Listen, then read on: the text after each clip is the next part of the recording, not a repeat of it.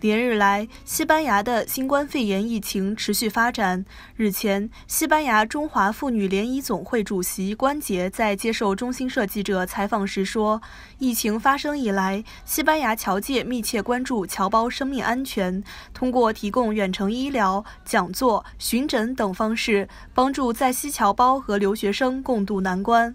我们先后在侨界各大微信群组织国内医疗专家。”为侨民举办微信远程防疫知识讲座、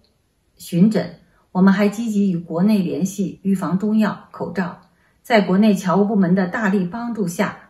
邮寄到巴塞罗那，分发给侨民，让海外华人深切体会到祖国的温暖和家乡人民的关怀。在巴塞罗那侨界，我们率先组建有七十名当地华人报名参加的志愿者队伍。只在社会紧急状态下为侨民提供无偿服务，帮助妇女、儿童及老弱病残的华人解决实际困难。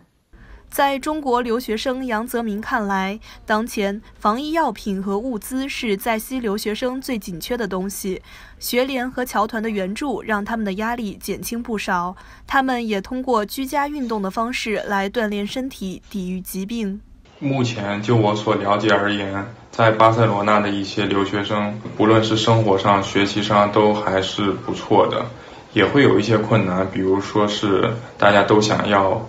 莲花清瘟胶囊这些呃防疫的一些药品。学联呢也在学生群里面发出消息，由我们当地的一些中资企业提供一些口罩等防疫物资。另外呢，我们巴塞罗那这边的侨团，他们也给我们提供了许多帮助。现在由于国家紧急状态，我们也只能选择在在家运动的方式来进行锻炼，以增强自己的抵抗力，避免病毒的袭扰。对于疫情会否影响留学生学业的问题，正在西班牙交流学习的中国学生李春玉介绍，疫情发生后，他所在的学校立即开通了网课，确保学生顺利完成学业。自疫情爆发以来，我们有很多同学都选择了提前回国，学校为了配合加泰罗尼亚政府呃居家隔离的指示，以及帮助我们在国内的同学能够完成这边的学业。迅速开通了网课系统，我们现在每天都在家里上课，课程时间也跟原来我们在学校上课的课程安排是一样的。